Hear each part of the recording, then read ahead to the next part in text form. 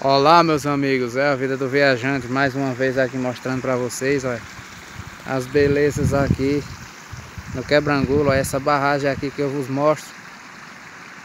Essa daqui é o bálsamo inaugurada pelo Lula. Essa barragem aqui quando a carangueja fracassou foi ela que mandou algo aí para Palmeira, para quebrangulo. Que ela abastece aqui no caso as cidades aqui do lado de Paulo Jacinto para frente, sabe? Eu tô aqui hoje no assentamento aqui, Boa Vista, em Quebrangolo.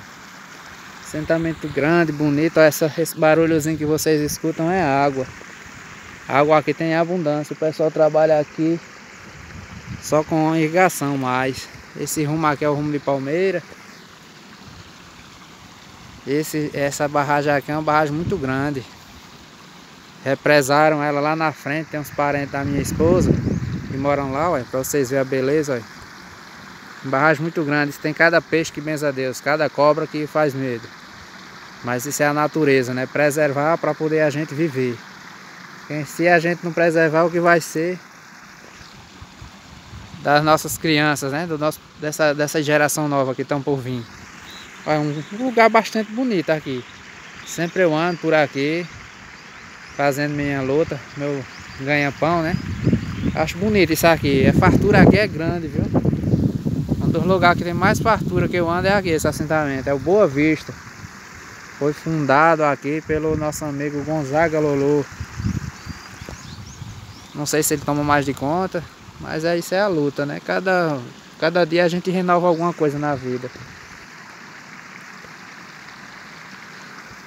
Lá na frente do colégio, ó, aquela outra casa ali também era de um, de um freguês da gente também. É assim a luta, né? Aquela estradazinha que vocês veem ali é a saída pro lado da, da cidade de Quebrangulo. Isso é uma barragem grande, viu? Carangueja não chega aos pés dela. É grande e bonita essa barragem. Bonito é a gente encostar ali e começar a pescar e comer peixe. Ixi, é demais.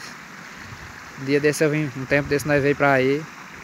A traíra era que nem batatinha frita, chega era crocante, ô oh, beleza. Pena que eu não bebo, mas quem bebeu encheu o focinho com força e se alegrou. É isso aí, meu pessoal. Fiquem com Deus e até o próximo vídeo. Fico com essa visão aí linda que eu queria mostrar para vocês e estou mostrando. Até mais, até o próximo vídeo. Dá aquele like, vamos crescer junto, com fé em Deus. Até o próximo vídeo.